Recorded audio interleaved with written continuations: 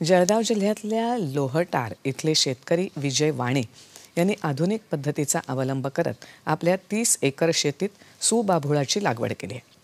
वाणे यांनी गुजरातमधल्या पेपर मिलला सुबाभूळ लाकूड विकण्याचा करार केला आहे या करारामुळे दरवर्षी झाडांची चारशे ते पाचशे टन कटाई होत असून सुमारे बारा ते पंधरा लाखांचं उत्पन्न मिळत आहे. विजय वाणी यांनी उर्वरित क्षेत्रात केळी लिंबू हळद कांदा अशा पिकांचीही लागवड केली आहे.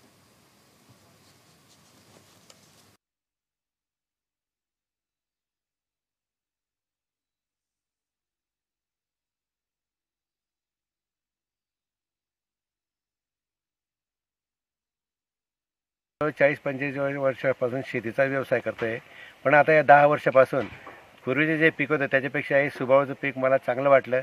आता ल दिवसेंदिवस लेबरचा प्रॉब्लेम फार येतो आहे तर सुभावळूची लागवड केल्यानंतर याला लेबरचा प्रॉब्लेम पण नसतो.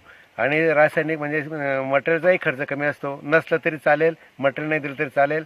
पण त्यात त्याचं स्वतःचं जे नायट्रोजन तयार होतं त्याच्यावर ते दोन वर्षात चाळीस ते पन्नास टनापर्यंत ॲव्हरेज देऊ शकतं. आणि ज्यां ज्या शेतकऱ्यांना दोन वर्ष थांबायची कपॅसिटी आहे अशा शेतकऱ्यांनी माझं तर विनंती आहे त्यांना की बाबा त्यांनी शे सुभावाची लागवड करा आणि हमीचं उत्पन्न मिळवा की त्या